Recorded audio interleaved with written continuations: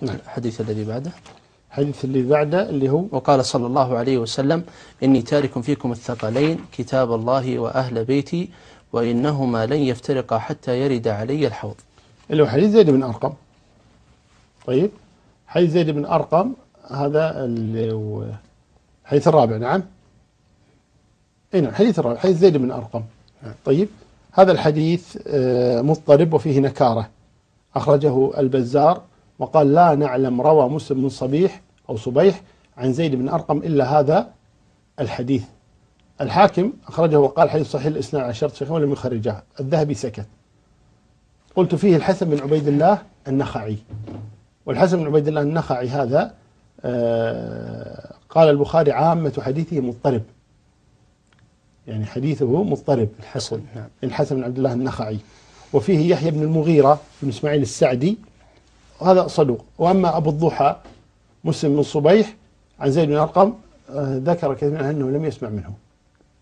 ففيه انقطاع انقطاع. فلا يصح. طيب؟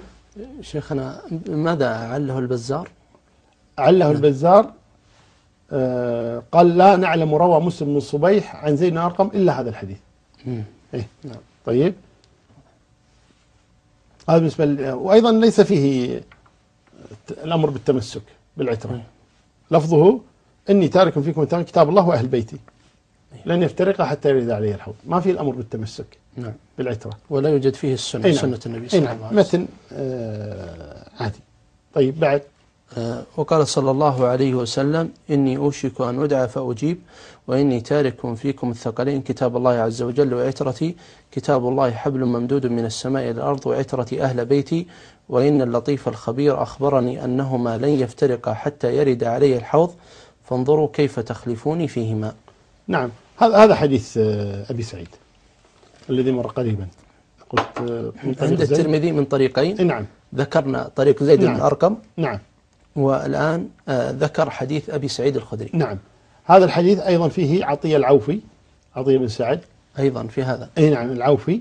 وقلنا أنه ضعيف ومدلس أيضا. ثم أيضا ال- المتن منكر لأن الحديث مشهور من حديث زيد بن أرقم رضي الله تبارك وتعالى عنه وأرضاه. طيب.